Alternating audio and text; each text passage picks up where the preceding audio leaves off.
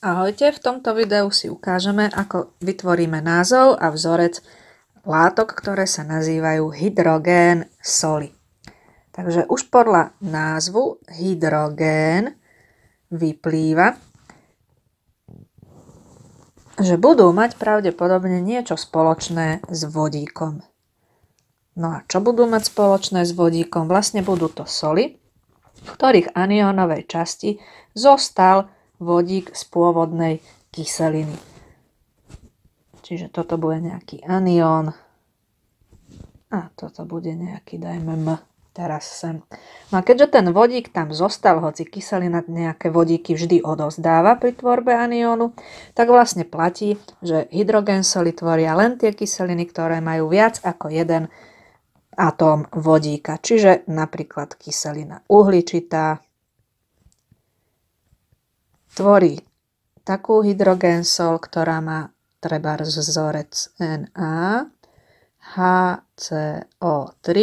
No a ono, táto zlúčenina je vlastne sóda bikarbóna, ktorú poznáte asi z domácnosti. Používa sa pri pečení v práškoch do pečiva. No a zároveň je to vlastne e, látka, ktorá zabraňuje prekysleniu žalúdka. Potom napríklad kyselina sírová, má dva vodíky, tvorí takúto hydrogén sol. A tá sa používa pri spracovaní vína. No a napríklad kyselina 3 hydrogén fosforečná tvorí takúto sol.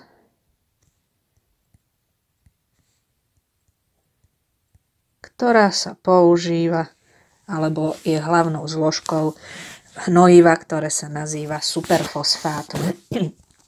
No a teraz si ukážeme, vlastne už ste si všimli, že e, v čom sa líšia vzorce týchto látok.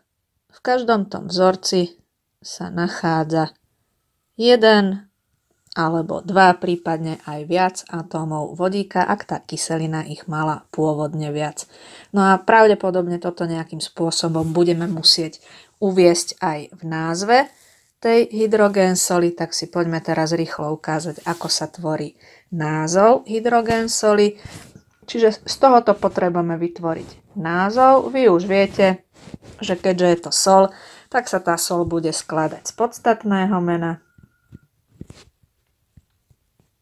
z prídavného mena,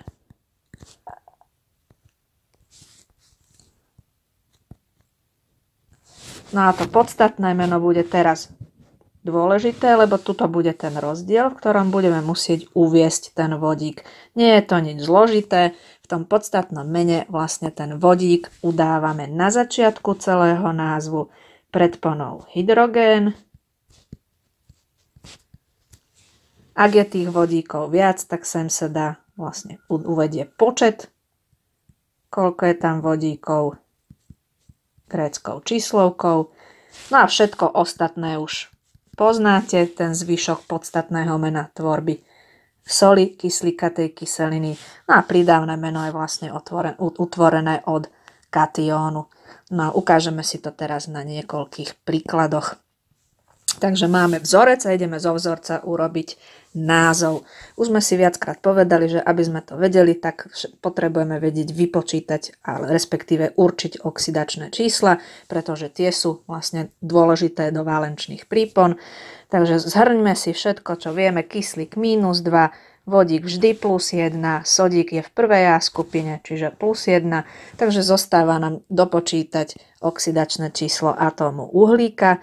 No a keď si spočítame sodík 1x1 plus 1 vodík sú 2, e, kyslíkov je dokopy 3, čiže 6 krát, e, dokopy je to 6, 3 x 2 je 6, minus tieto 2, uhlík nám vyšiel 4.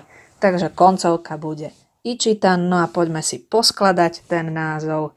Čiže podstatné meno bude, no a teraz ide ten rozdiel, je tam jeden vodík, to, že je jeden, sa nemusí uvádzať mono, dáme si to do zátvorky, lebo sa to nemusí uvádzať. Hydrogén je predpona. No a teraz všetok zvyšok ostatný je takisto, ako sme to robili doteraz. čiže uhli, dajme si farebne, i či tán, no a aký uhličitán sodík tam máme v oxidačnom čísle 1, takže sodný. Čiže názov tejto zlúčeniny je hydrogén uhličitán sodný. Používa sa aj triviálny názov sóda bikarbóna.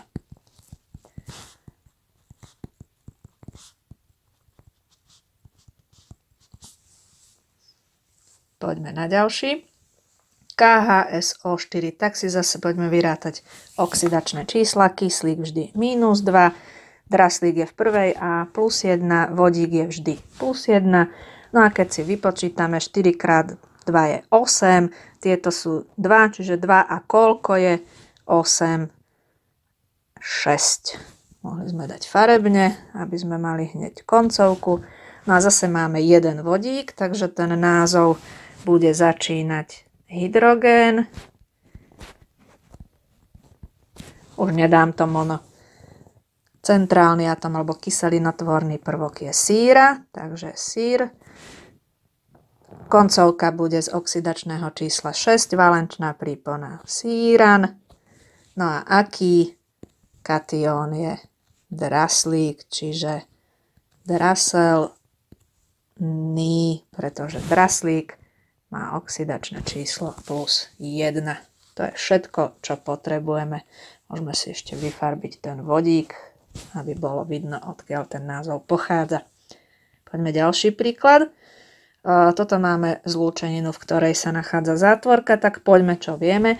Keďže zátvorka, použijeme krížové pravidlo, dvojka prejde sem, čiže vápnik má oxidačné číslo plus 2, iné nemôže mať, lebo je v druhej A skupine, to máme kontrolu.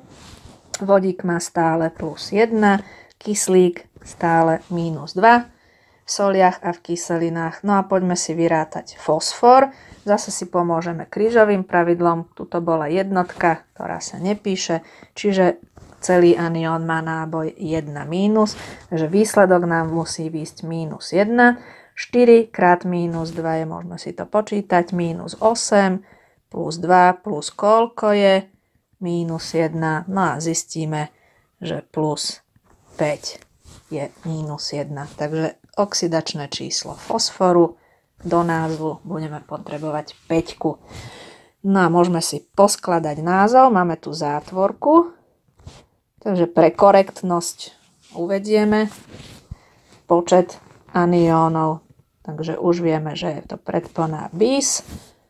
A ideme di hydrogén. A teraz ideme fosfor pridať. Fosfor koncovka ečnan. No a toto je anión, takže si ho dajme do zátvorky. No a aký anión? Druhé slovo. Pridavné meno vápe a koncovka bude natý, lebo vápnik má oxidačné číslo 2.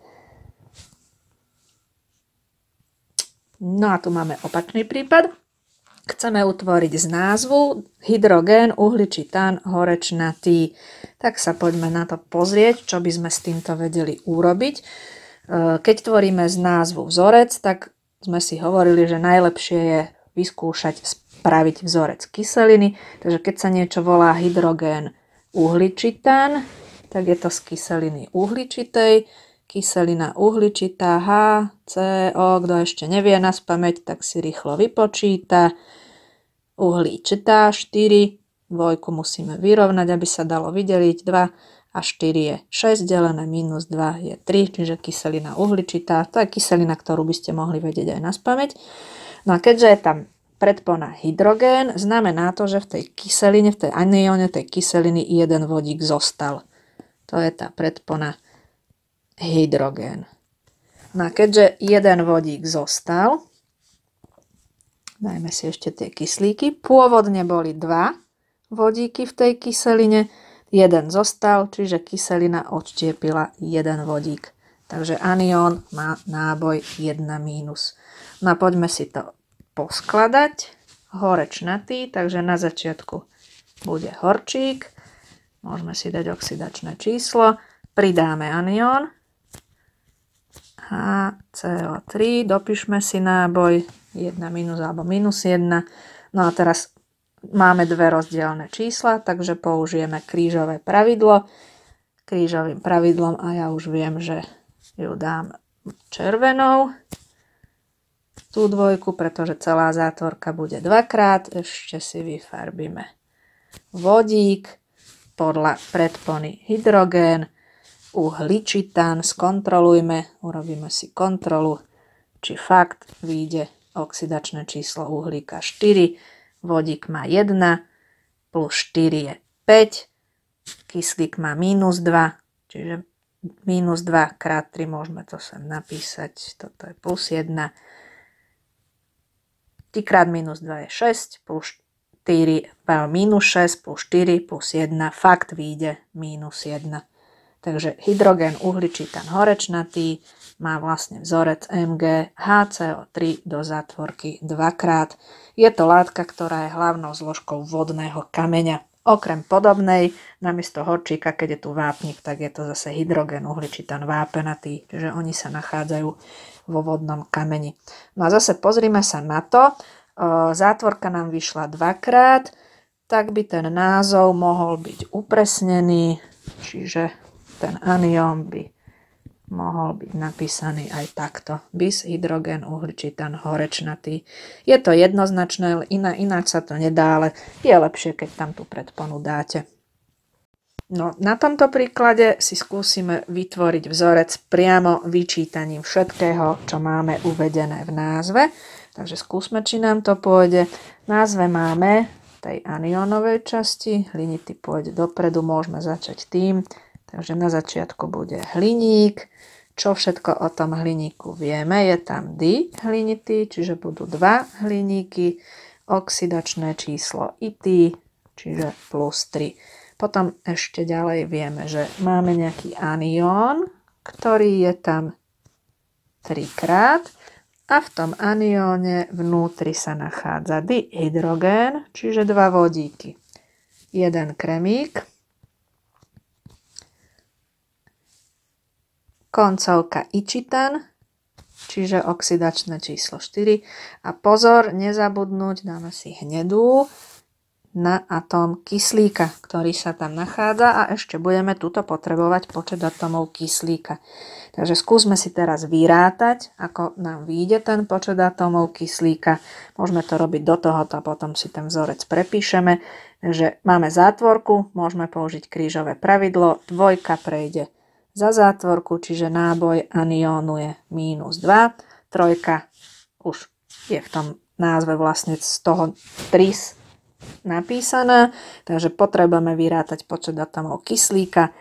Vodík má oxidačné číslo plus 1, kyslík minus 2, nájdeme si vyrátať, celá zátvorka musí výjsť minus 2. Máme tam dva vodíky, čiže 2 krát 1 plus 4, lebo kremik máme iba 1. 2 krát volačo, dajme x, rovná sa minus 2. No keď si to zrátame, toto je 6, 2x je minus 2, takže nám dokopy vyjde, že 2x je minus 8, čiže x vyjde 4 kusy, hej? lebo tuto má byť dvojka, náboj kyslíka je minus 2, takže počet atómov kyslíka je 4. Poďme si skúsiť skúšku, či to vyjde. Výsledok musí byť 2 mínus, že 2 krát 1 plus 4 je 6 a mínus 4 krát 2 8, 6 mínus 8 je mínus 2. Takže si môžeme ten vzorec prepísať. Ten vzorec je AL2 do zátvorky H2 SiO4 3 krát. No, zase máme podobnú podobný prípad, tak skúsme rovno začať písať dilítny, to bude začiatok, čiže máme litium, lítny, oxidačné číslo plus 1, di, takže 2 lítia. No a teraz dihydrogen fosforečnan, môžeme farebne. Máme dva vodíky,